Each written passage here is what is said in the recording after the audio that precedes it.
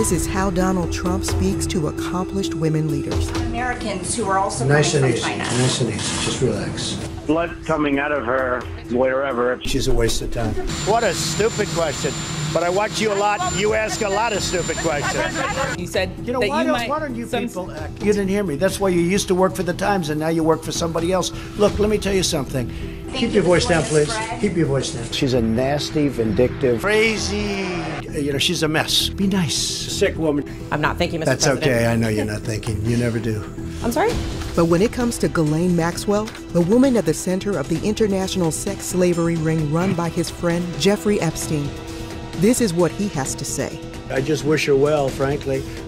It's why so many Americans are wondering just what does Maxwell have on Donald Trump?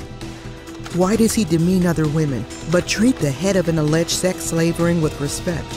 Does Donald Trump want Maxwell to keep quiet? America needs to know. The indictment of accused sex trafficker Ghislaine Maxwell reads In some cases, Maxwell participated in the abuse herself. I just wish her well, frankly. Uh, I've met her numerous times over the years. She pretended to be a woman they could trust.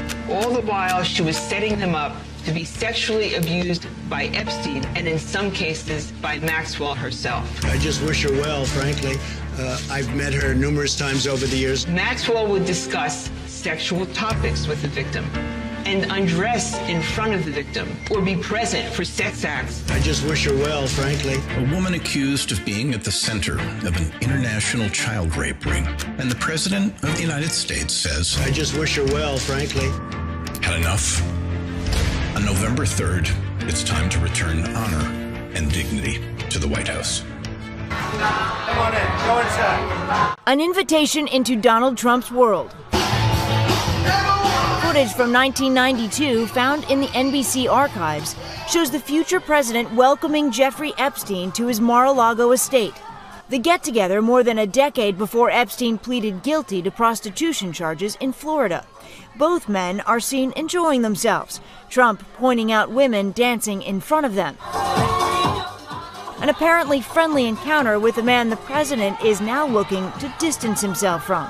Well, I knew him like everybody in Palm Beach knew him. I had a falling out with him a long time ago. I don't think I've spoken to him for 15 years. Uh, I wasn't a fan. Epstein, who has pleaded not guilty to federal sex trafficking and conspiracy charges in New York, is fighting to be released from jail while he waits for his trial. His lawyers now offering an explanation for the most mysterious item uncovered in a search of Epstein's Manhattan mansion. An expired foreign passport revealed by prosecutors as they tried to convince a judge that Epstein is a serious flight risk. The passport appearing to show Epstein's photo, but under a different name, his residence listed as Saudi Arabia. Epstein's attorneys describing him as an affluent member of the Jewish faith now say he acquired the document from Austria in the 1980s for personal protection while traveling in the Middle East, adding it was only to be presented to potential kidnappers, hijackers, or terrorists should violent episodes occur. The explanation coming as one of Epstein's accusers called on other alleged victims to tell their stories. If you have already made the decision to come forward, thank you. If you have not, the time is now. Courtney Wild first told authorities Epstein sexually abused her more than a decade ago and says she was kept in the dark about the secret deal he cut with federal prosecutors in Florida in 2007. My voice was muted by the same government that was supposed to protect me. Law enforcement officials across the country now working together as more women speak up, saying they too were victimized by Epstein.